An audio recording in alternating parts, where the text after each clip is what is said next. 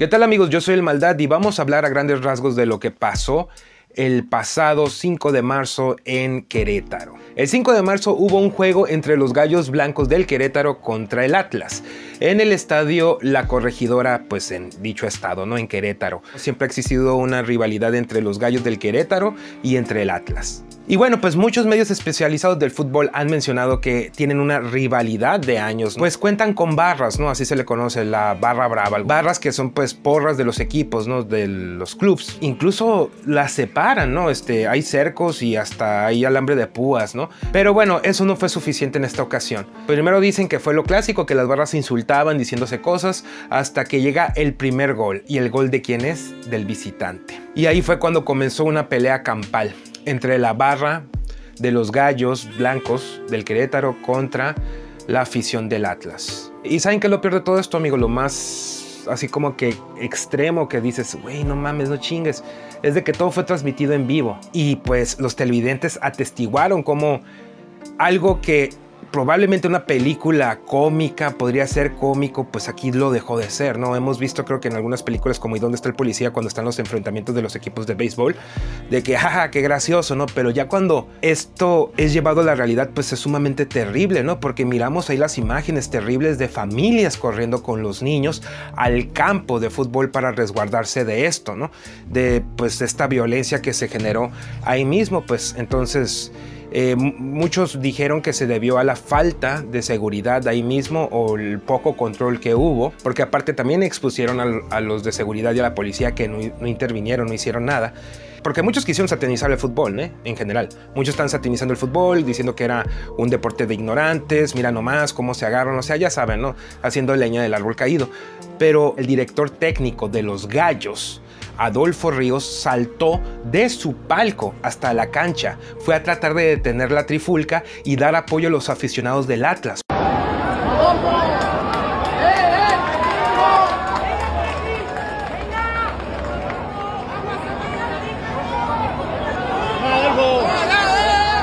No, no, no bajes, güey. No bajes, no güey.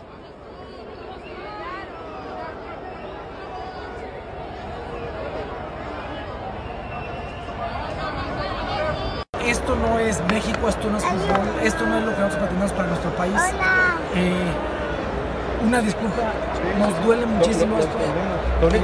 y ahorita lo que queremos hacer es que la integridad es lo más importante. Es llevarnos a un lugar seguro.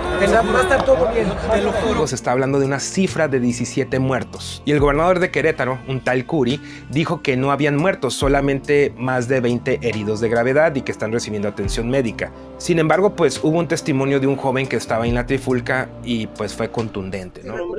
Eh, Frank Ceballos. Estaba el partido totalmente normal, incluso un poquito aburrido, íbamos ganando, no teníamos por qué pelear, nada. Este, eran respuestas solamente en canciones, normal en un partido. Eh, de repente empezamos a ver cómo aficionados de Querétaro empiezan a correr de fuera de su zona y venían hacia nosotros. Eh, vemos cómo se frenan en la zona familiar y le empiezan a golpear a familias del Atlas. En ese momento sigue corriendo toda la manada hacia nosotros y nos encapsularon y la policía en lugar de ayudarnos o algo empezó a abrir todas las rejas para que nos pudieran golpear. Probablemente estaban todos ya mm, puestos de acuerdo porque era una revisión bastante estricta para nosotros, tanto que no podíamos pasar monedas, llaves, eh, cartera, cadenas, ningún anillo, fajos, pero ellos tenían picayelos, este, unos traían pistola, no sé dónde sacaron una pistola, traían piedras, navajas. Eh, hay videos donde se ve que los policías abren las rejas. ¿Escuchaste disparos? Eh, sí, a la salida. En el momento que empezamos a salir, había policía afuera eh, golpeándonos y ya había gente de Querétaro.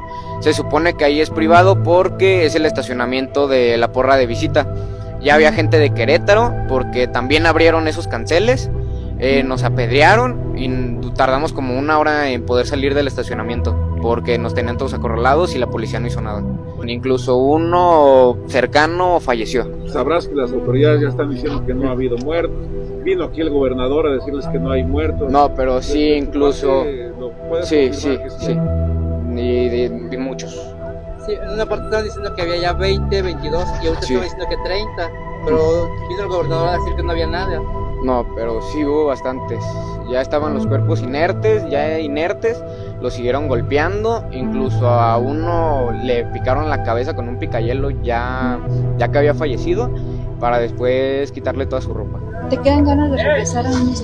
Mm, la verdad no. Mm, Creo que no porque me tocó ver tristemente cómo eran golpeados y asesinados enfrente de mí. Y bueno amigos, ya para el domingo 6 de marzo, ya en la tarde, hubo una rueda de prensa donde estuvieron presentes Arriola, presidente de la Liga MX, y Gabriel Solares, presidente ejecutivo de los Gallos Blancos del Querétaro. Arriola pues lo dejó bien claro, ¿no? Tomó medidas de inmediato y fue la prohibición de las barras en los estadios. Y lo otro fue la suspensión de actividades futbolísticas en el estadio La Corregidora, ¿no? Fue lo que dijo y que entraba ya en vigor y a la fregada, ¿no? Y pues también amonestaron al club y pues otra serie de cosas ahí tomaron unas medidas inmediatas, ¿no?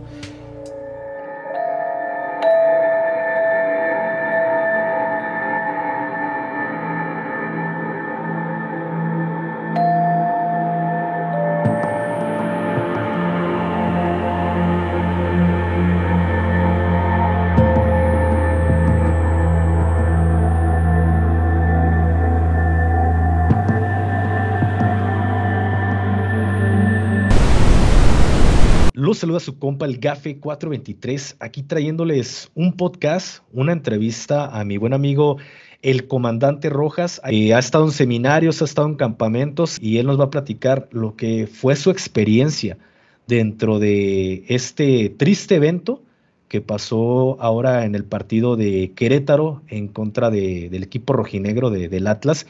Él estuvo eh, prestando ahí eh, su servicio como seguridad. ¿Puedes decirle a la gente que nos está viendo el gobierno o los gobiernos, tanto municipales, estatales, como inclusive el gobierno federal, nos están ocultando esta tragedia de muertes en el estadio Corregidora? se están ocultando demasiadas cosas, pero de que se están ocultando cifras de personas lamentablemente fallecidas, lo están haciendo. Ahorita quieren tapar todo con que nadie falleció en el estadio, señores. Me tocó pasar por donde las personas tristemente ya estaban sin signos vitales. ¿Cuántas personas cuentas que hayan fallecido? El primer número que se dio y oficialmente que se dio, yo estando en el estadio, platicando con paramédicos, platicando con personal de, protección civil, fueron 17 los decesos. Yo, en lo personal, vi más de 20 personas. Muy aparte de la gente que se encontraba herida.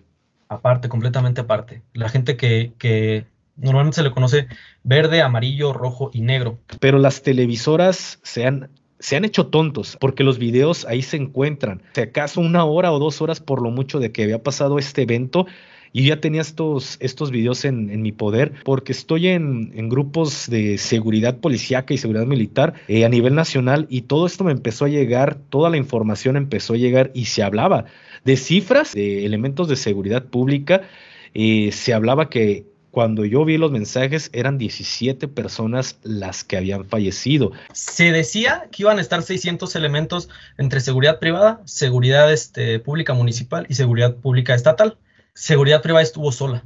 Aproximadamente de seguridad éramos 200 elementos, menos de 200 elementos. Están inflando las cifras y eso es algo que a mí no me gusta, ya que yo estuve trabajando con esta empresa. Están diciendo que había 300 y tantos de seguridad este, privada. No es cierto, señores. Yo creo que más que nada esto estaba eh, previsto que sí, que iba a haber una pelea. Comenta desde el estadio, él, él hace mención que no le permitieron ingresar su botiquín tipo IFAC, que es uno como este. No aseguro, pero dicen que probablemente eh, esto fue arreglado, que las autoridades sabían que iba a haber un enfrentamiento de este tipo. Ahí están los, certificados de- del hermano Rojas. ¿Por qué los policías? ¿Por qué no le permitieron el acceso a un botiquín? Otro punto bastante importante, no teníamos nada con qué detener una agresión. El bastón retráctil no me lo dejaron ingresar tampoco. Ni gas pimienta, ni nada en absoluto. Estábamos solos, señores. Yo no vi un solo policía que hiciera algo. De los 600 que según iban, de los 400, si lo vemos de esta manera, quitando a los 200 de seguridad privada, nadie. La única reacción que yo alcancé a tener, bajar, abrir la puerta, abrir unas pequeñas, vallas que estaban en forma de triángulo, lo cual también un supervisor que estaba ahí de lentes me regañó que no los dejara entrar a nivel de cancha. Perdón la palabra, pero le dije, quítate a la verga. Mi única reacción fue sacar a los niños y a las mujeres a la cancha. Fue la única reacción. Porque, ¿Por qué? Porque yo sabía que a un niño no lo ves. ¿Sí? Lo pisan fácilmente. Exactamente. Tú te vas corriendo y ya, la verdad es que ya en, eh, cuando ya está una persona en, en estado etílico, una, tus, tus sentidos de percepción ya no están bien. Ya te llevaste a un niño y las gradas es lo más peligroso que hay. No había una forma de evacuar rápido a la gente. Llega un punto en el que todo explota. Donde voltearas había sangre, era una carnicería. Volteabas al canal y veías a, los, a las personas tiradas. Te das cuenta en el color de la piel, en la temperatura que tiene el cuerpo, la mirada de las personas perdidas, sus ojos ya casi negros, el pasar a un lado y, saber que a esa persona ya no se le notaba respiración. En ese momento no había nadie, estábamos solos. Había gente de traje, no de traje, simplemente que se veían pues que no, no, no eran que estaban ahí en el partido como aficionados, viendo, se asomaban, platicaban. Veían acá, platicaban. ¿Qué pasó con esos cuerpos? Nadie sabe. ¿Por qué? Porque a la seguridad le hicieron esto. Oye, este, háceme barrido, que es el famoso barrido para que ya no haya gente en- dentro de las instalaciones. Eh, ir caminando y sentías la sangre. Me quería pellizcar y decir, este es un sueño, va a despertar. Pero no. Tristemente, te, te toca ver muchas cosas que, que lejos de hacerte enojar es, es- o ponerte triste es decir, quiero hacer ruido, quiero que esto se sepa, no quiero que esto quede impune. Me atrevo a decir que están haciendo un teatro, inclusive hasta con los cuerpos. Por eso creo que no dejaron ingresar al forense y que no se hiciera el peritaje dentro del estadio y tuvieron que sacar los cuerpos para sembrarlos en otro lugar. Otra, no olvidemos, señores, que se pudo haber clausurado el estadio con una sola muerte, cosa que no se ha hecho. Se pudo haber parado la liga de fútbol, cosa que nada más se paró la jornada, pero no la liga. ¿Por qué? Porque esto va a afectar o podría afectar si cualquiera de los gobiernos, ya hablo estatal o federal, aceptara que hubo muertes. Se podría petar a la selección mexicana del Mundial de Qatar. Podría perder inclusive la oportunidad de tener un mundial aquí y eso son pérdidas billonarias para los gobiernos, municipal, estatal y federal. Es por eso que se está maquillando todo esto. Es por eso que yo les pido que hagan ruido con este podcast, señores. Rojas se la está rifando. Y ustedes van a decir, tú no sales, tú no sales este, con el rostro destapado. Todos mis videos son así desde que inicié. Pero la secretaria sabe a la perfección quién soy. También yo temo, temo por lo que pueda pasar. Pero es momento de que esto no quede impune, señores.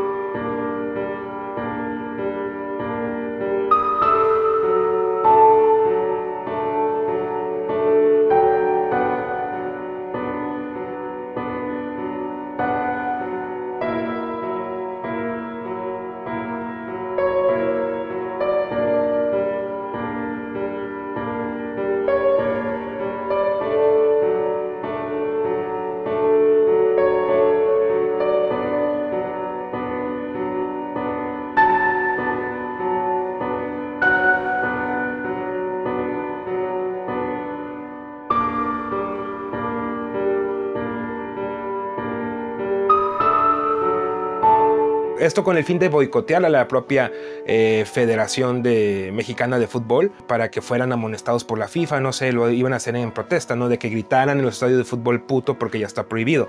Ya saben, el eh, puto, ¿no? Que pues a mí me parece una ridiculez que, eh, que esa medida la hayan tomado este, la FIFA. Es decir, a cada rato los están so sofocando más, ¿no? O sea, son varias cosas de que sirven como una válvula de escape, pero le dan una lectura. Por ejemplo, dicen, es que decir puto es, es homofóbico, pero güey, muchos no la aplican así, puto. Puto es el que te chinga todos los días, el que te friega, el que saca ventajas de otros, ¿no? Para nosotros eso es un puto, así la aplicamos como puto, ¿no? Pero bueno, ya el propio gobierno federal dice que no han habido muertos, ¿no? Que otros dicen estaban tendidos pues en, en el suelo este, simplemente pues que eran heridos, ¿no? De gravedad y pues que no hubieron muertos, pero pues ahí tenemos el testimonio y pues, y pues casi de inmediato, ¿no? Acallaron esos rumores. Eso fue lo que encontré, amigos. Ahora, si quieren mi opinión, por más rivalidad que tengas contra un equipo de fútbol o equipo o con quien sea, pues en un evento deportivo, amigos, debe de prevalecer eso, pues el espíritu deportivo demostrar que tú eres mejor que otra persona en ese mismo terreno con las mismas oportunidades y pues la afición pues se salió de, de control en esta ocasión, ¿no? Güey, si aman tanto a los gallos, ¿por qué actuaron así, verdad? Este, manchando, ¿no? El, el escudo del, del club deportivo que tanto aman. Ocupamos fomentar los valores civiles en general en los estadios, oye, miramos niños, familias corriendo, ¿no? Y muchos están haciendo memes, ¿no? De que se divirtieron los hombres, mañana le toca a las mujeres por la marcha de las feministas, que de hecho en la Ciudad de México fue un ejemplo, ¿eh? Fue un ejemplo porque el bloque negro fue ya muy minúsculo y pues hubieron mujeres que regalaron flores a, a las policías, al grupo Atenea, en vez de darle martillazos y aventarles bombas molotov. Entonces eso generó mucha más empatía y más apoyo a, a las resistencias feministas pacíficas. ¿no? Mujeres en resistencia pacífica se llamaba ese colectivo, pero, pero bueno, están exigiendo sus derechos, todos queremos un alto en la, violen la, violencia en general, ¿no? Ese es el tema. Todos queremos que pare la violencia en México en general, violencia a todos, es decir, a los hombres, a las mujeres, que ya no haya más feminicidios, más asesinatos, asaltos, robo. O sea, estamos a tal grado de inseguridad en México que lo que queremos es pues vivir en paz, ¿no? Y ahora en un evento deportivo donde la debes de pasar al fregazo, conviviendo con tus amigos, incluso que hay otros rivales, etc. Hay personas que son amigos y le van al equipo contrario, ¿no? Y pues todo bien. Entonces, yo creo que debe prevalecer eso, amigos. Nuestras igualdades son más profundas, todos somos mexicanos y yo supongo que todos queremos un México donde impere la paz, ¿no? Y basta de violencia. Y bien amigos, eso ha sido todo en este video. Muchísimas gracias por verlo. Dale me gusta, compártelo con tus contactos. Si te gustó, dale me gusta. Y pues puedes dar tus comentarios en la caja de comentarios y seguirme en las redes sociales en las cuales tengo cuenta. Van a estar apareciendo en la descripción del video. Y puedes seguirme en elmaldad.com y apoyarme de forma monetaria si gustas hacerlo por medio de Patreon. Y bueno amigos, nos vemos y que viva el fútbol, no más violencia.